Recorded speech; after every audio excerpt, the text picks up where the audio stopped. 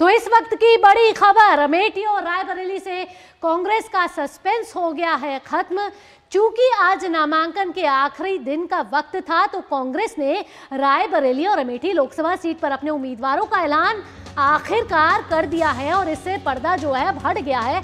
अब जो है नज़र होगी थोड़ी देर में राहुल गांधी, प्रियंका और मल्लिकार्जुन खड़गे के साथ फुर्सतगंज एयरपोर्ट पहुँचने वाले हैं, जिसके बाद एक रोड शो किया जाएगा और साथ ही साथ नामांकन भरने की प्रक्रिया जो है वो शुरू की जाएगी, क्योंकि आज आगामी चरण के मतदान के लिए, यानी कि पाँचवें चरण के मतदान के लिए जो कि 20 मई को होने वाला है, उसके लिए नामांकन भरने का आज आखिरी दिन था। तो कांग्रेस के लिए ये मजबूरी कहें या फिर इतने दिनों से जो कयास लगाए जा रहे थे, उस पर सस्पेंस हटाना था। आज कांग्रेस ने वो सस्पेंस हटा दिया है और रायबरेली से एक नया चेहरा है इस बारी।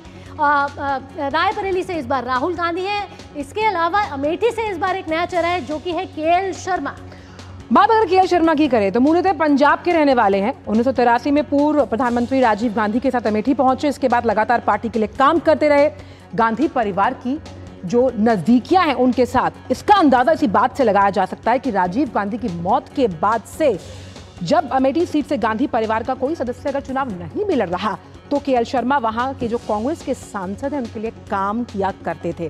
के शर्मा बिहार में पार्टी के प्रभारी भी रह चुके हैं। साथ ही एआईसीसी और पंजाब कमेटी के लिए भी काम किया। बेहतरीन संगठन कार्यकर्ता के रूप में उनकी पहचान है।